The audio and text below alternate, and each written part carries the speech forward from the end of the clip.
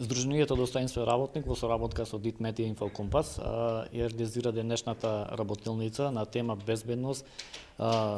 безбедност при работа со трактори за земјоделска механизација со цел присутните да се запознаат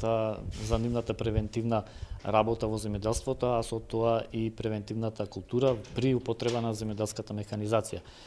Нови денешен настан имаме стручно лице, тоа е проф, професор доктор од Факултетот за земјоделски науки и храна, професор доктор Драги Таневски, кој што ќе зборува за превентивната мерка во однос на безбедноста при работа со трактор земјоделската механизација. А воедно исто така, значи ова е, е дел од проектот превентивна култура за безбедност и здравје при работа ке земјоделците во Прилепи Пелагонискиот регион, кој што е поддржан од Европската Унија во соработка преку грантова шема на Македонското Сдружение за заштита при работа. Денешното предавање на тема безбедност при работа со трактори приклучни машини беше со цел да дел од учесниците кои учествуваат на овој собир да ги запознаеме со најважните значи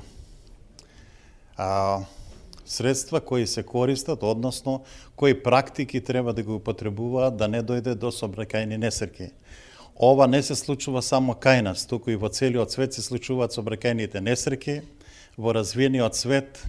несреките ги решаваат со одредени правилници, што кај нас во нашата држава такви правилници не постојат. Сега и целта на ова предавање е да ги запознаеме сите учесници и да ги објаснеме сите сигурносни мерки кои се јавуваат за време на возењето со самиот трактор, а бидејќи тракторот е машина која служи за експлоатација или за приклучување над повеќе од 100 и повеќе приклучни машини, да не доваѓат до одредени несреќи кои може да бидат со смртни последици, а и со тешко или полесно повредени значи, луѓе. За таа цел, ние на овој собир ке предложиме да нашата држава, бидејќи се стреми да влезе во Европската Унија, ваквите правилници веќе функционираат во одредени држави, например во соседството, например да ја спомнеме Словенија,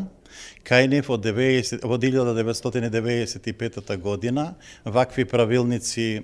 постојат, се користат И од нивните согледувања, пошто има прилика да престојувам во ова држава, видов дека околу 30 до 40, па и до 50% можат со квалитетна обука на стручни лица според одредена предходно а, одредена програма за предавање од страна на Европската Унија, што веќе јас лично ја имам подготвено во работен материјал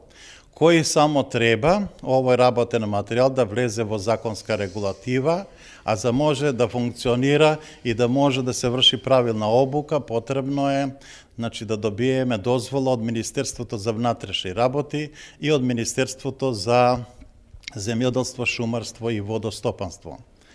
А целта на овие предавања е да направиме еден план како би го извеле во Република Македонија. Мојот предлог е да, бидејќи во Република Македонија постојат 10 земеделски училишта. Тие земеделски училишта опфаќаат поделни региони, така да може да го поклопуваат целиот регион на ниво на нашата држава. Предходно ќе бидат обучени професорите кои предаваат по мотори, трактори и механизација. А во овој проект, односно во овие предавања, може да се вклучат, ево и цел е преку вашата телевизија да објавиме, за обуката може да вршат и специјални автошколи кои ќе изразат желба за, за обука на вакви личности. Са, се надевам дека со самите обуки, тоа е моје лично искуство, бидејќи на оваа проблематика веќе се занимавам преку 20 години на несреките со тракторите и приклучните машини во нашата држава. И денеска на ова предавање ќе предложиме, а и лично ќе биде снимено преку вашата телевизија, кои сигурносни мерки треба да бидат исполнети, за да може и кои приручни средства, односно одредени уреди, мора да бидат закачени на самите трактори или приклучите машини, со цел да ја намалеме, значи, смртноста, бидејќи, можам слободно да речам, од моите собствени испитувања, околу 20 години се вршени испитувања, дека просечно секој месец ни загинува едно лице од трактор трактор. Или тоа лице од трактор бидејќи со него не не останува сам во тракторот, туку се воза тоа дали ќе биде на приклучна машина или на самиот трактор, просечно доваѓа 1 према 6, односно 1 према 4. Значи, на еден загинат а, возач доваѓаат околу 4 до 6 лесно или тешко повредени личности.